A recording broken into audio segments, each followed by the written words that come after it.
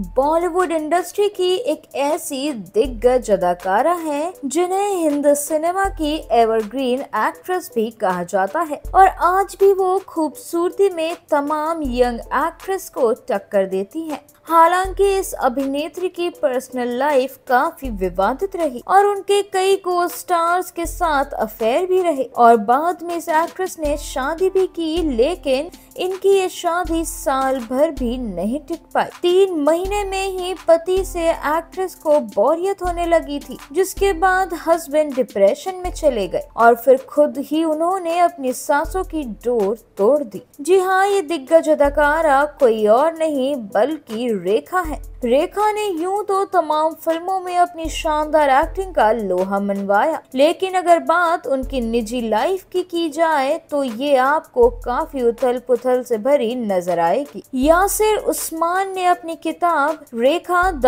Untold story में actress की ज़िंदगी के कई खुलासे किए हैं। किताब में उन्होंने बताया कि आखिर रेखा की शादी क्यों नहीं चली थी, और उनके पति मुकेश ने आखिर सुसाइड क्यों किया था। किताब में लिखा गया है कि दिल्ली के बिजनेसमैन मुकेश अग्रवाल की कंपनी हॉट लाइन किचन का सामान बनाती थी। मुकेश अक्सर अपनी पार्टियों में फिल्मी हस्तियों को बुलाया करते थे। वही रेखा और मुकेश के कॉमन दोस्त बीमा रमानी थी और रेखा अपनी फ्रेंड बीमा रमानी से मिलने जाया करती थी। अब इसी दौरान उनकी मुलाकात मुकेश से हुई और फिर दोनों की बातें शुरू हो गई और मुकेश रेखा पर अपना दिल हार बैठे। चार मार्च 1990 की दोपहर को मुकेश ने रेखा के घर पहुंचकर उन्हें शादी के लिए प्रपोज किया था। एक्ट्रेस पहले तो ये सुनकर काफ़ी हैरान हो गई थी, लेकिन फिर उन्होंने मुकेश के साथ शादी के लिए अपनी हामी भर दी।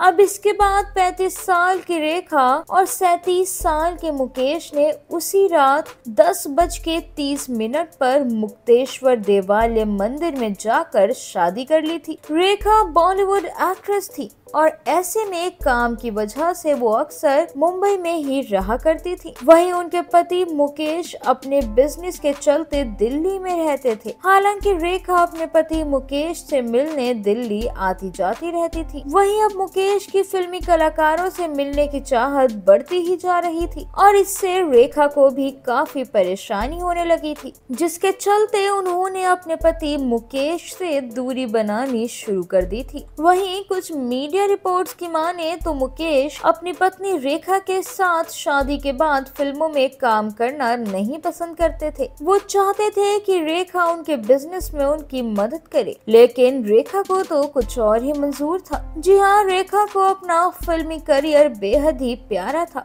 और वहीं शादी के बाद मुकेश का बिज़नेस नुकसान में जाने लगा और धीरे धीरे वो परेशान रहने लगे। अब इस दौरान मुकेश और रेखा में काफ़ी झगड़े और बहस भी भी होने लगी थी। दोनों की शादी को एक साल भी नहीं हुआ था और उनकी शादीशुदा ज़िंदगी में तनाव बस बढ़ता ही जा रहा था। रेखा इतनी परेशान हो गई थी कि उन्होंने मुकेश से तलाक लेने की ठान ली थी और इसके लिए उन्होंने अर्जी भी लगा दी थी। हालाँकि शादी के 11 महीने बाद ही मुकेश अग्रवाल ने अपनी जीवन लीला खुद अपने हाथों से खत्म कर ली। जी हाँ मीडिया रिपोर्ट्स की माने तो रेखा से मनमुटाव और बिज़नेस में हुए घाटे ने मुकेश को डिप्रेशन में शिकार डाल दिया था। जिसके बाद मीडिया रिपोर्ट्स में आया कि मुकेश ने रेखा के दुपट्टे से ही फांसी लगा ली थी। वहीं पति की मौत के बाद रेखा ने दूसरी शादी नहीं की और वो आज तक एक सिंगल की तरह ज़िंदगी गुजार रही हैं।